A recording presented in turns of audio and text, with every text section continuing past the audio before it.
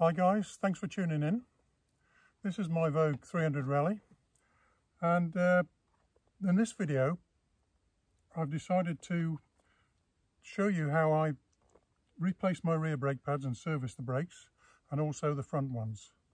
And if you're new to this, this kind of bike or you're new to doing stuff on your bike um, then this video could, is like a step-by-step -step how to do it and what tools you need and I hope it helps.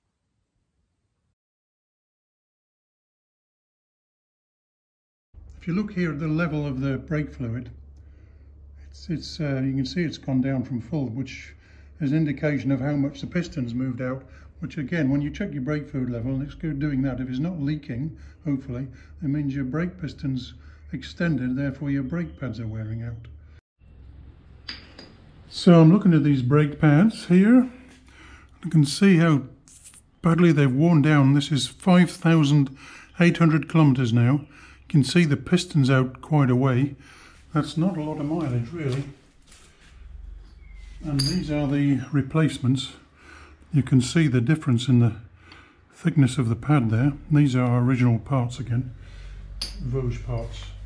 On this one there's a allen key here and it, you can't take the brake caliper off without taking the wheel off.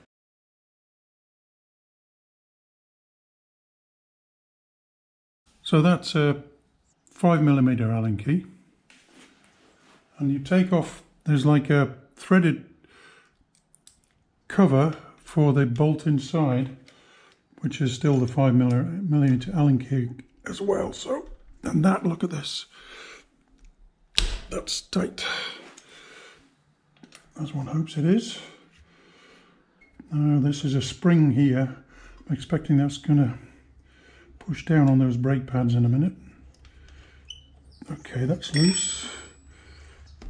And that now pulls out. Now there's not really a lot of pressure on there.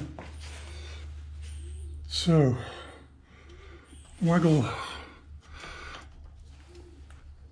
Waggle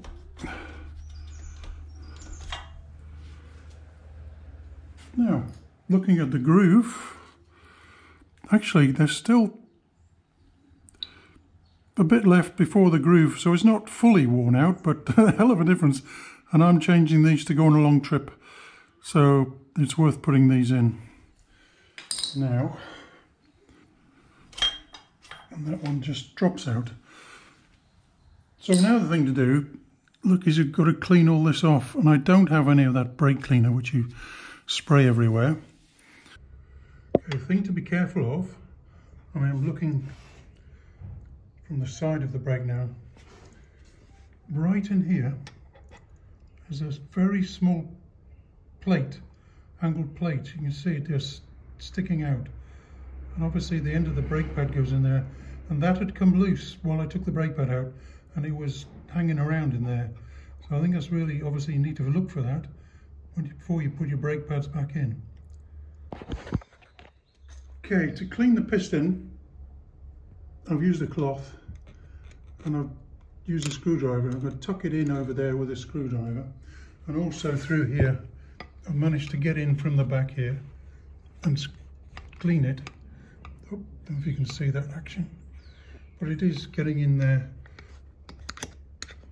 It seems to have done it and and of course if you use any spray don't get it on your disc otherwise it'll go into your brake pad and ruin them so that's the piston cleaned. And next I need to close it up. Okay, I wanted to make sure I could do this job with the toolkit I'm taking with me and I didn't want to take a big long screwdriver with me. Now, what I did was use a spanner which I have in the kit which is a 11 millimeter spanner and I push the, the whole unit across and then lever back on the brake piston to close it. And that gives you all that space there now to put your brake pads in. And the uh, hole has to go at the back.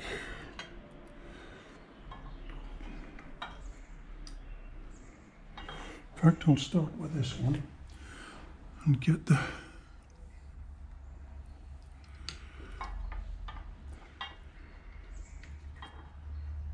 get this screw in to hold it in place, or the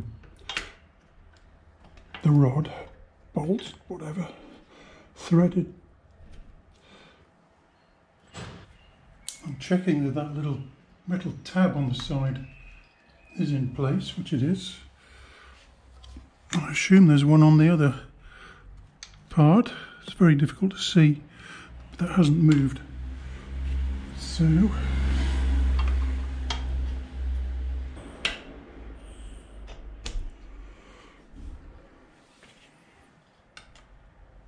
Now, what I do, oh, that's too big, is I like to put some of this copper compound on all threaded components which are you take off for maintenance. It's anti-seize, anti-corrosion, really good stuff, always use it. Just a smear, just to help it come apart when you need to do it again. That's tight. And then you put the end cap in, a little bit of copper on it. Doesn't need a lot, just goes around the threads. Tighten up. And push the brake lever and check they work. That works. And that's it. That's the rear brake pads. Quite easy really. And they, they look quite like, uh, it's nice to see there's some brake friction material on there. it's always a, a relief to have good brakes. There you go, the rear brake done. When I look at these old pads in the light of day, put them together like that, you can see the um, wear indicator groove. They're not fully down, um, and I reckon, I mean, they've done 5,800 kilometers. I reckon they do another thousand. So I'm not actually going to throw them away yet, that'll be a waste. I'm going to keep them as a spare set. Maybe get to use them when I'm just riding locally, when I'm in between trips. On the front brakes you do need to remove the caliper and that's quite easy. There are two bolts here, 10 millimeter socket.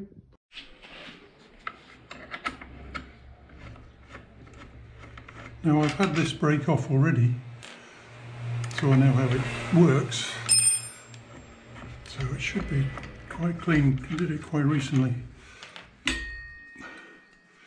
Now under here there are the two security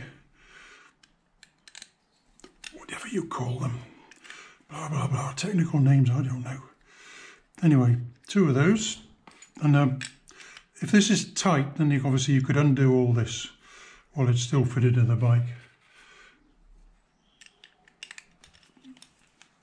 to help you. But I've already had this off, as I said, and I've put copper thread anti-seize compound on, so they come out. Now I'll just show you actually, I'll just show you the difference in the uh, thickness of the brake pads. So again, 5,800 kilometers, and the front ones, they've got loads left in them compared to the back. So I don't need to change them for this trip when I get back maybe.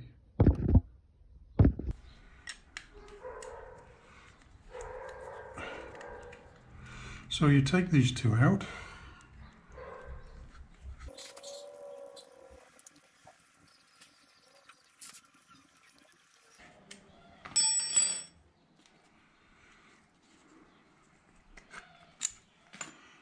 Then you can get it You try to show you this. Once those bolts are out, oh, excuse the smoke, this is to keep the darn mosquitoes away. So, these pads will literally just fall out. So there you go. Be careful with that. And I've already got my fingers in and pushed those pistons back because I'd already cleaned them before. Um, so quite an easy unit. So to put them back in, there are two different pads. You have this outer and an inner with this projection here like a little hook on the end. That one goes on the side there to hold that in. But first I'm going to put this one in, give me some space. And of course it goes that way up. Try not to contaminate the pads with your greasy, mucky fingers and oily fingers or anything.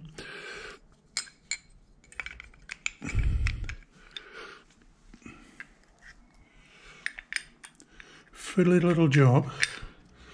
Fiddly diddly do. And then get the light on here, screw these back in.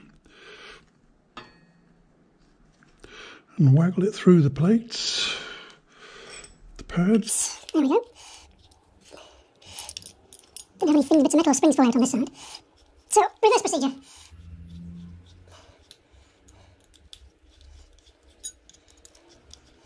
So I'm not going to tighten them up till they're actually fitted to the bike now.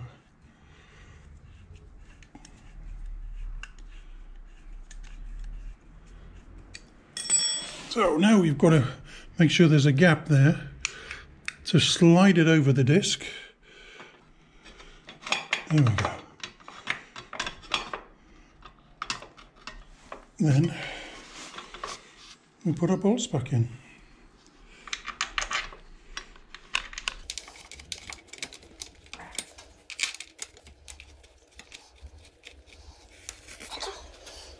Tighten everything up.